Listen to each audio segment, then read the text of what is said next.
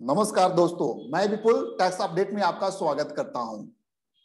CBDT ने 31 मार्च 2021 को notification number 21 oblique 2021 issue किया, जिसमें उन्होंने ITR form for the assessment year 2021-22 notify किए हैं। कोविड पैंडेमिक के क्राइसिस को देखते हुए सिग्निफिकेंट चेंजेस आईटीआर फॉर्म में नहीं किए गए हैं। मोस्ट ऑफ़ जो जो चेंजेस हैं, वो फाइनेंस एक्ट 2020 के जो अमेंडमेंट है, उसको इनकारपोरेट किया गया है फॉर्म के अंदर। इसके अलावा आईटीआर वन फॉर्म है, जो टैक्स पेयर जिसके टीडीएस डिडक्ट है कैश विड्रॉल पे अंडर सेक्शन 194 इन पे, उस पे आईटीआर वन अप्लीकेबल नहीं होगा। और साथ ही जहाँ पर डिफर्ड किया गया है आपका in respect of the ESOP allotted by the eligible startup तो यहाँ पर जो टैक्स जो पर है, उसको डिफर किया गया है तो उस केस में I T R one and I T R four form allow नहीं होगा। तो आइए देखते हैं कि कौन कौन से फॉर्म जो असेसी टैक्स पेयर पे अप्लीकेबल है तो इस applicable I T R form का हम लिस्ट यहाँ पे देखते हैं।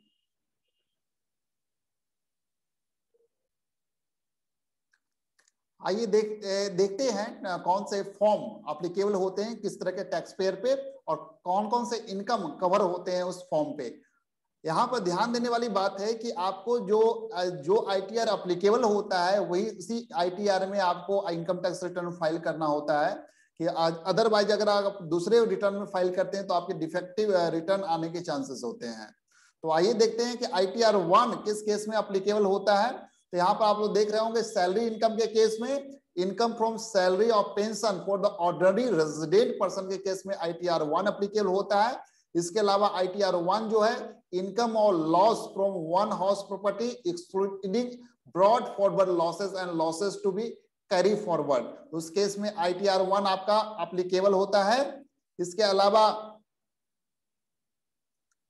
आप देखते हैं इनकम फ्रॉम अदर सोर्सेस में family pension for ordinary resident person के केस में आईटीआर वन अप्लीकेबल होता है और income from other sources other than income chargeable to tax at the special rate including winning from lottery race horses और losses under this head तो इस case में आपका I T R one applicable होता है। तो ये आई टी आर वन के लिए था, ये आपका आई टी आर वन जो है रेजिडेंट ऑर्डनरी रेजिडेंट पर्सन के केस में अप्लीकेबल होता है। अब आइए आई टी आर टू की बात करते हैं तो आई टी आर टू किस केस में अप्लीकेबल होता है? तो सैलरी के केस में आप देख रहे होंगे सैलरी के केस में income from salary pension applicable है। इसके अलावा income from salary pension for not ordinary resident and non resident person in that case I T is applicable not I T R one और not ordinary resident person के case में ITR two apply होगा ITR one apply नहीं होगा। और any individual who is director in any company in case of the directorship held in any company then ITR two is applicable on the director tax payer next income from house property के case में income और loss from the one house property excluding brought for losses to be carry forward तो इस case में जो I T R one applicable जिसमें case में है वो आई टी आर टू में तो इंक्लूड uh, है वो। इसके अलावा आई टी आर टू में जैसे individual has brought forward loss और losses to be carry forward under the head house property तो आपको I T R two file करना है। इसके अलावा इनकम और loss for more than one house property उस केस में आई टी आर टू आपको फ़ाइल करना है। इसके अलावा देखिए, अगर बिज़नेस एंड प्रोफेशन से आपका इनकम है तो आईटीआर टू फ़ाइल नहीं होगा। कैपिटल गेन के केस में आपका tax payer has held unlisted equity share at any time during the previous year in that case ITR two file करना है। या कैपिटल गेन्स और loss on sale of the investment of property तो ITR two आपका जाएगा। इसके अलावा income from other sources में आप आइए। तो tax payer has held family pension जैसे आई टी आर वन में जो अप्लीकेबल था, वो आई टी आर टू में भी अप्लीकेबल है आपका। इसके अलावा family pension for not ordinary और नॉन रेजिडेंट वाले भी इसमें अप्लीकेबल है। आई टी आर टू इस पर ही अप्लाई होगा आई टी आर अप्लाई नहीं होगा। Income from other sources other than the winning from lottery और रेस हॉर्सेस उस केस में आईटीआर टू होगा। इसके अलावा income from other sources including special rates in income जैसे इंक्लूडिंग बिनिंग फ्रॉम लॉटरी या रेस हॉर्स और लॉसे अंडर दिस हेड तो ये आईटीआर टू में जाएगा। आईटीआर वन वाले जो थे, वो आईटीआर टू में तो जाएँगे। और इसके अलावा भी जो, अगर जैसे आप मान लीजिए इनकम फ्रॉम अदर सोर्सेज में winning from lottery race horses और लॉस अंडर अदर हेड है तो आईटीआर टू जाएगा आपका। इसके अलावा डिविडेंड इनकम अगर आपका exceeding ten lakhs taxable under section 115 B B D A तो आईटीआर टू इस केस में आपका जाएगा। अनएक्सप्लेन इनकम है अगर आपका cash credit unexplained investment etcetera तो then that is taxable under at rate of the 60 percent under section 115 BBE in that case ITR two आपका जाएगा। इसके अलावा person claiming deduction under section 57 from income chargeable under the head other sources, other than deduction allowed from the family pension. In that case ITR 2 is applicable. इसके अलावा अगर deduction के case में कुछ डिडक्शन आप क्लेम करते हैं, अगर मान लीजिए 80 क्यू बी और 80 R R B in respect of the royalty from the from patent और बुक्स तो इस दैट केस आपका जो आईटीआर जाएगा वो आईटीआर टू जाएगा। इसके अलावा person claiming deduction section ten double A और part C of the chapter six A in that case ITR two उस केस में अप्लीकेबल आपका नहीं होगा। ध्यान देने की बाद भी बात है, उसमें आईटीआर जो, जहाँ मैं बताऊँगा, उसी आईटीआर में आपको फ़ाइल करना होगा। टेन डबल ए या part C of the chapter six A का अगर कोई डिडक्शन आप क्लेम करते हैं तो इन दैट केस आपका आईटीआर थ्री अप्लीकेबल होता है आईटीआर टू अप्लीकेबल नहीं होता है।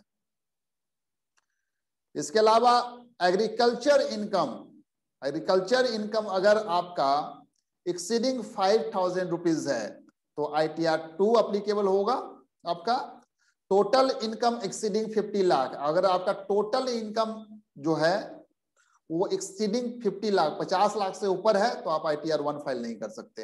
इन दैट केस आप I T R two choose कीजिए या फिर I T R three choose कीजिए। इसके अलावा assessee has any brought forward losses और losses to be carry forward under any head of the income in that case आप ITR two या ITR three के लिए जाएँगे। इसके बाद computation of the tax liability में अगर देखते हैं कि if an individual is a taxpayer in respect of the income, but tds in respect of such income has been deducted in the hands of any other person, जैसे clubbing of income या Portuguese civil code जहाँ apply होता है। In that case आप ITR two में जाएँगे या फिर आईटीआर थ्री में जाएँगे। उसके अलावा assessee has income from foreign sources अगर कोई भी फॉरेन सोर्स से अगर आपका एसएससी का इनकम है या foreign assess including financial interest into any foreign entity signing authority in any account outside India that case आप आईटीआर टू में जाएँगे या फिर आईटीआर थ्री में जाएँगे। Income has to be a, a portion in accordance with the section 5a तो in that case ITR two या ITR three में जाएँगे एक इंपॉर्टेंट चीज़ है जो आपको ध्यान देना यहाँ पे if the tax has been deducted on the cash withdrawal under section 194 in in that case आप ITR 2 ITR 3 या फिर ITR 4 में आप उसको फ़ाइल करेंगे जैसा आपका इनकम जिस सोर्स से है आपका अगर बिज़नेस सोर्स से इनकम है तो आप आईटीआर टू फ़ाइल नहीं करेंगे। इसके बारे में 194 एम के बारे में हम लोग डिटेल में अभी चर्चा करेंगे नेक्स्ट वीडियो में।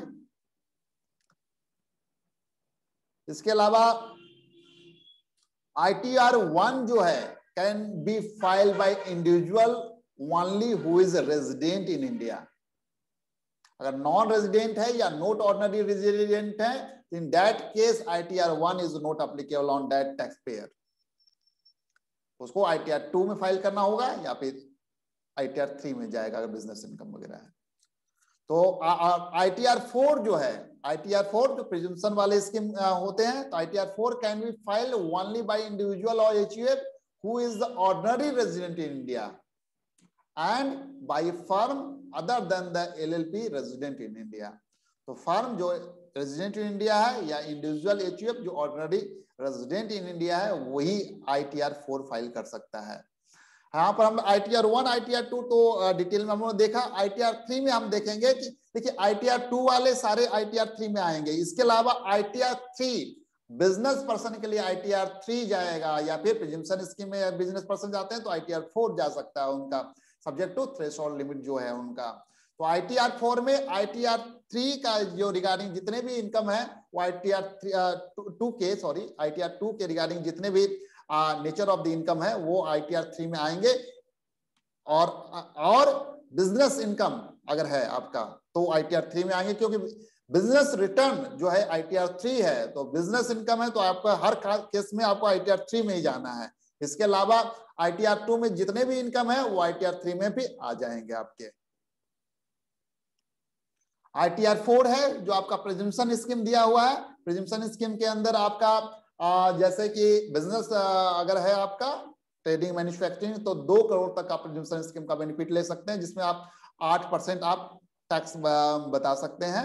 तो वहाँ पर आप प्रिजिम्सन स्कीम में आप जा सकते हैं। इसके अलावा प्रोफेशनल केस में फिफ्टी लैक्स तक आपका है तो आप प्रिजिम्सन स्कीम में जा सकते हैं। सब्जेक्ट टू आप fifty percent of the fifty lakh that is fifty twenty five lakh offer as a income तो ये रहा I T R one I T R two I T R three and I T R four तो मैं एक बार review भी कर देता हूँ यहाँ से। I T R four three के रिगार्डिंग जो काफ़ी इंपॉर्टेंट है, अगर बिज़नेस है सैलरी है हाउस प्रॉपर्टी इनकम है कैपिटल गेन है, और इनकम फ्रॉम अदर सोर्सेस अगर सारा है, अगर तो आई टी आर थ्री में आपका कंप्लीट इंफॉर्मेशन जाएगा। तो आई टी आर थ्री यहाँ पर देख रहे होंगे। मैं आ, वीडियो को थोड़ा सा पॉज कर रहा हूँ सो डेट आपको यहाँ पे आप देख भी सकेंगे कि कौन से फॉर्म और कौन से, से नेचर ऑफ़ इनकम है किस तरह का तो कौन से फॉर्म अप्लाई होंगे।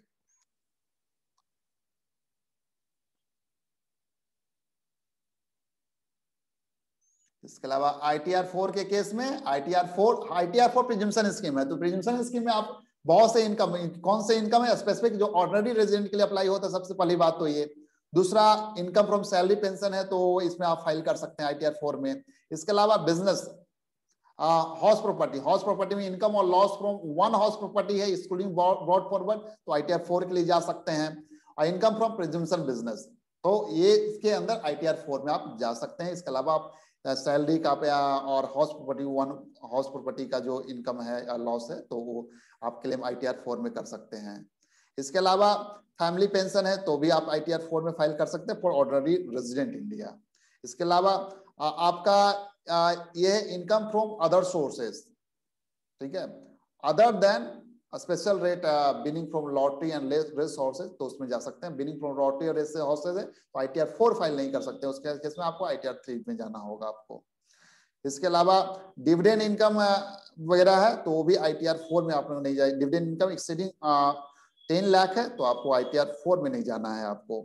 इसके अलावा अनएक्सप्लेन इनकम है आपका, जो taxable rate sixty percent under section one hundred fifteen BBE है तो आई टी आर फोर में आप नहीं जा सकते। तो ये आई टी आर फोर के लिए था।